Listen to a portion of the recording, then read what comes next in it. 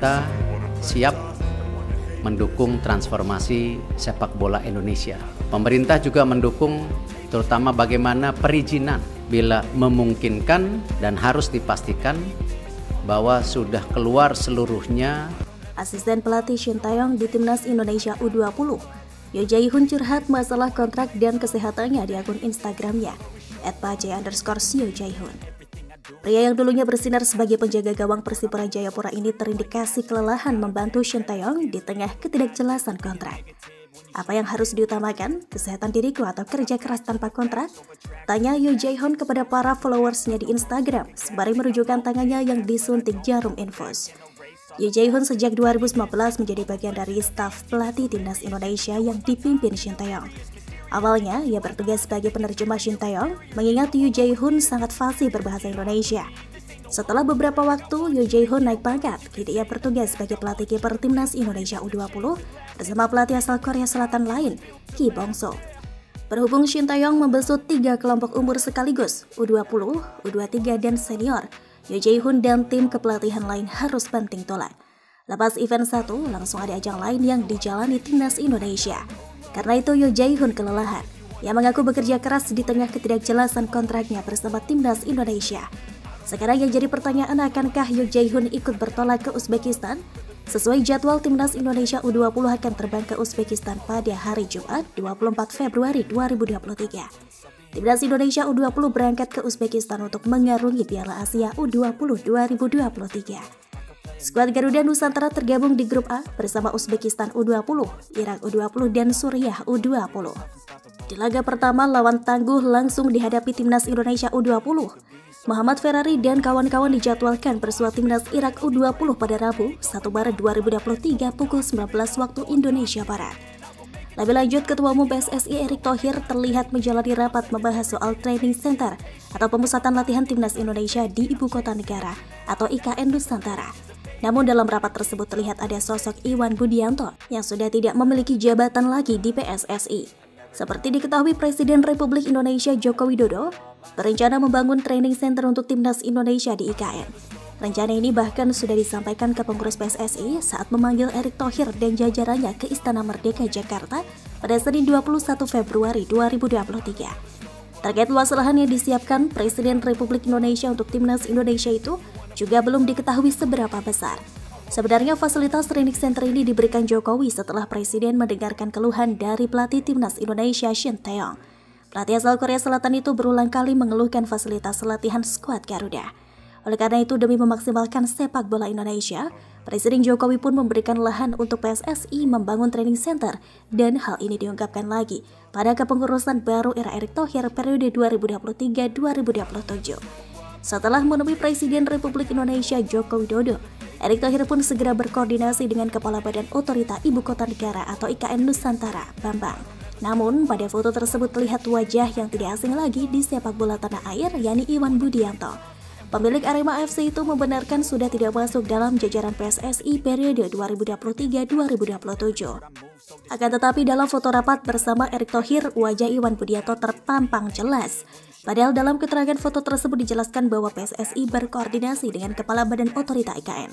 Yang menjadi pertanyaan sebenarnya Iwan Budianto hadir dalam rapat tersebut sebagai apa? Sementara itu Iwan Budianto sendiri sebelumnya menjabat sebagai Wakil Ketua Umum PSSI periode 2015-2023. Dia mendampingi atau membantu Ketum PSSI Muhammad Iriawan. Dengan begitu seharusnya Iwan Budianto sudah tidak ada jabatan di PSSI. Sebelumnya dalam bursa pengurusan baru PSSI periode 2023-2027, nama Iwan Budianto bahkan sudah tidak ada. Sebelum pemilihan dilangsungkan, Iwan Budianto sudah mengundurkan diri dari daftar pencalonan waketum hingga anggota Komite Eksekutif atau Exco PSSI.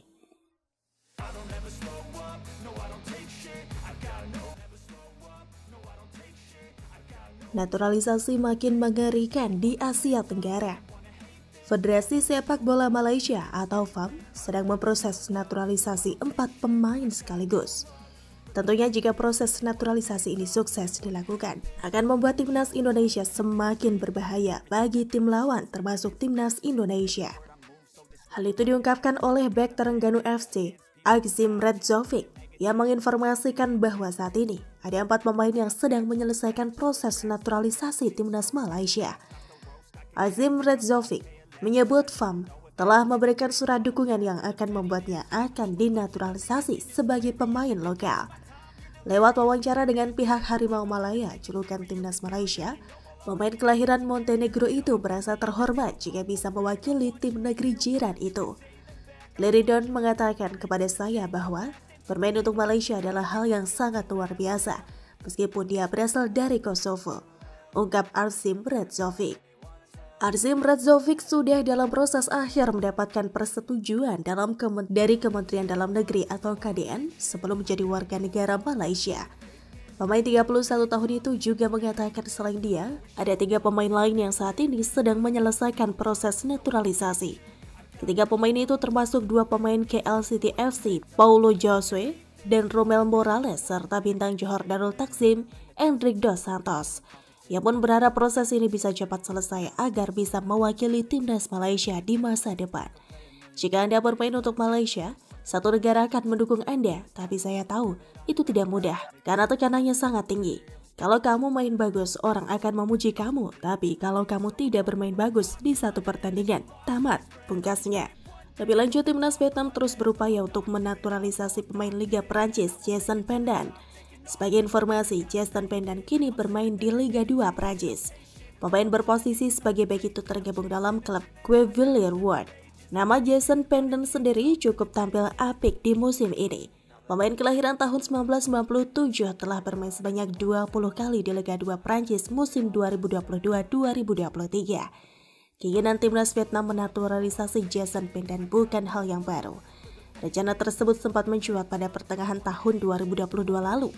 Namun entah apa yang terjadi, kabar naturalisasi Jason Pendan menghilang begitu saja.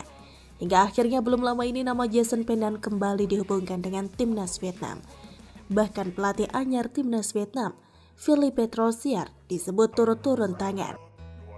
Berhubung masih di Prancis, Philippe Troussier berencana bertemu langsung dengan sang pemain. Akan tetapi pertemuan tersebut belum bisa terlaksana. Pelatih Philippe Troussier juga berencana menemui back Jason Pendan. Back Vietnam Prancis itu juga bermain di Liga 2 dengan klub Quevilliers Rouen. Sayangnya pertemuan tersebut tidak dapat dilakukan karena kurangnya waktu tulis The Tau 247. Sementara itu, Jason Pendan menjelaskan bila proses naturalisasi masih berjalan. Hanya saja Jason meyakini proses tersebut tidak akan rampung dalam waktu dekat. Warga negaraan Vietnam saya masih berjalan, tetapi tampaknya akan memakan waktu lebih lama untuk menyelesaikan prosedur. Tentu saja, jika saya memiliki kewarganegaraan Vietnam dan memiliki semua dokumen, Federasi Sepak Bola Vietnam dapat memperhatikan saya jika saya bisa masih tampil bagus di Prancis, kata Jason Pendan. Di sisi lain, Philippe Troussier tidak hanya menemui Jason Pendan selama di Prancis, Philippe Troussier juga menyempatkan diri bertemu dengan Nguyen Huang Hai yang juga bermain di sana.